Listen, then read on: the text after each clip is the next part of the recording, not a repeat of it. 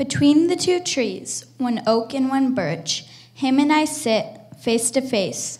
We gaze and gaze, we scream and cry, we yell and fight, we hug and kiss.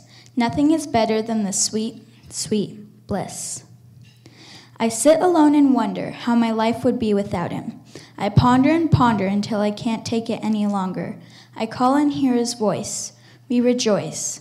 We scream and cry, we yell and fight, and oh, how we wish we could kiss. We say goodbye and then goodnight. Tomorrow, we'll meet up and renew our sweet bliss. We'll sit face to face, we're the same, him and me, he and he. We'll sit happily between the two trees.